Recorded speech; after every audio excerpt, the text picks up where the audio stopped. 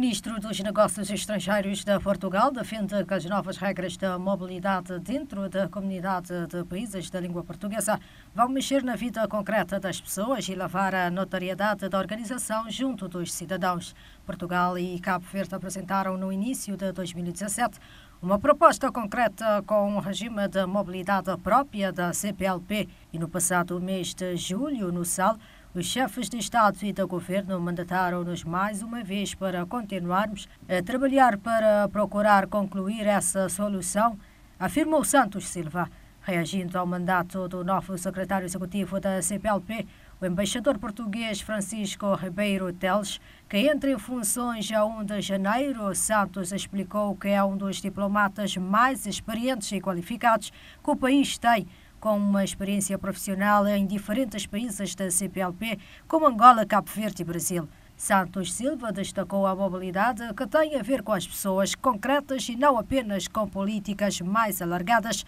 áreas em que a CPLP já tem mostrado trabalho. Diz ainda que dentro de todos os países da CPLP é necessário um instrumento de reconhecimento das habilitações escolares e das qualificações profissionais para permitir a mobilidade profissional.